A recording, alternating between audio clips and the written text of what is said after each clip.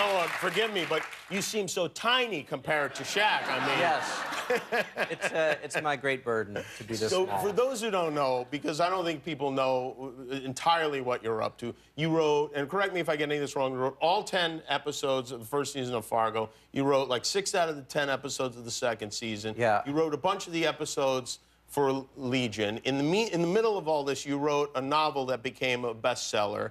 And now you're, uh, well, it really like, uh, just by sitting here tonight, I think we're, you're losing two or three episodes of yeah. work. It's like how Bill Gates loses money by stopping to pick up $10,000. If, if I stop moving, I, I, I'm in trouble. You must be the fastest typist in the world. I mean, just With two fingers, I literally type. Is that yeah, that true? Yeah. Well, sometimes another finger will get involved, but, could- but mostly it's just the two. yeah. you could get a whole other series if you could just learn to type exactly. properly. The pinkies would get me. Yeah. It, it really is remarkable. And these shows, you know, I mentioned this to you that I love both of these shows. I, I, you, Thank you. really have, you've taken on, well, for those who don't know, Fargo was this great movie the Coen brothers made. It's one of the most beloved movies of all time. It is, you yeah. agree? Yeah. And I assume by you as well. Yes. And then you decide to make a television series out of it.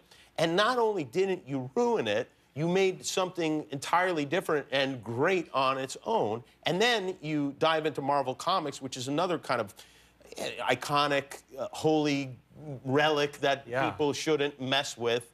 And you made this great television show out of that. Is that, I mean, were you at all nervous about touching either of these two things just yeah, to I mean, start with, with? with Fargo, I assumed two people would watch it and one would be hate watching it. And, and you know, when it turned out to be popular and, and critically acclaimed, I mean, I, I just assumed that, that I was doing this thing that, that was such a terrible idea um, that the, the only thing I could do was to just sort of dive into it and make it the thing that it had to be. And then when we were rewarded for taking risks, then when we I reinvented it for the second year, I just took more risks, and then Legion was sort of the same.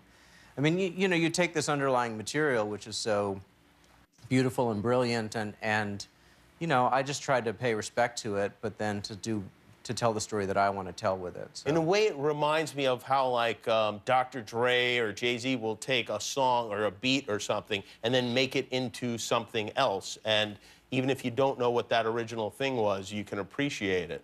Yeah, I think it's a conversation that I'm having with the work that I love, right? Even as a novelist, you're you're always going off of the books that inspired you, and it becomes a dialogue in a way. And and you know, no one had ever asked me to make a Coen Brothers movie before, and and uh, you know, this is my way of showing my appreciation to the work that they do. And and you know, so so I look at it that way. It's it's about trying to find something unfamiliar and, and unexpected in something that we all know. So many of your shows are, uh, are both of your shows have so much in the way of visual, these elements that I wonder how they even make it to the page and the music as well. Like, is that something that you're thinking of when you're writing, or is that something that you deal with later on? No, I start talking about music with the, the composer, Jeff Russo, uh, like at the outline stage. With Legion, before there was even a script, he and I were, were talking, and I said that it has to sound like Dark Side of the Moon, which is both uh, one of the most brilliant albums ever made, but also has this soundscape of mental illness to it, which the show obviously is about a character who, who may have a, a mental illness or may have these powers or both. And so Jeff, as as a, a, a you know as as an enthusiast, went out and he, he tracked down one of the original synthesizers they used on Dark Side of the Moon, and it's in the show. And, The and- actual, Yeah, not just yeah, the yeah. model, but the actual no, I think the model. Oh, the model, yeah, okay. yeah. Wow, I don't think he could pry it away from uh, the guy who had it. But but yeah, so the music is very important to the identity of the show, obviously, and as it is with Fargo as well. Do you ever get, when you're writing these, do they overlap at all? Like, is there a day where you're writing both of these shows?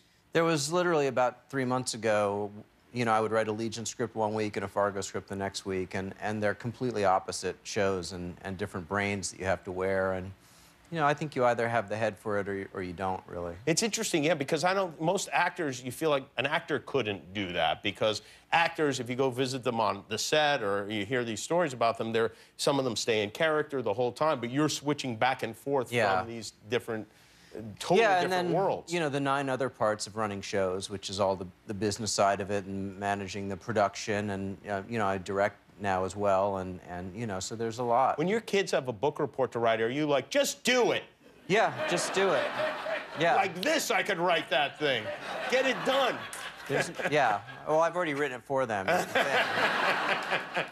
So um, the third season of Fargo comes out next month. Boy, you really, I Yeah. mean, it's unbelievable how much work you do. yeah, I, I like to to multitask, but it's getting a little ridiculous. Yeah, it is you're, getting you're ridiculous. actually stressing me out. I'm sorry, but it's.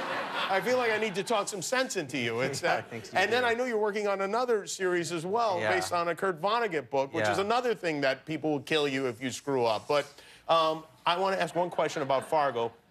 As I know, um, you, Ewan McGregor is starring in the Yes, movie. playing I mean, two in the show roles, in two yeah. different roles. Yeah. Will the now there was a, a an element, and it's, it was very for those who haven't seen the show. It's a great show. For almost it seemed no reason at all, a UFO appeared Uh-huh. at the end of the. Will that is that something that will continue on in this next season? Well, I always joke that season three would be the space station Fargo, the year 5050, but but uh, I don't think that we're going to do that. No, but you may see a UFO in the season, but I can't say it'll be a literal UFO. But Mm-hmm. but, but Is that should, should we presume when a UFO shows up, it means you've been up too late riding? yes, it does. Yeah, too long out in the sun.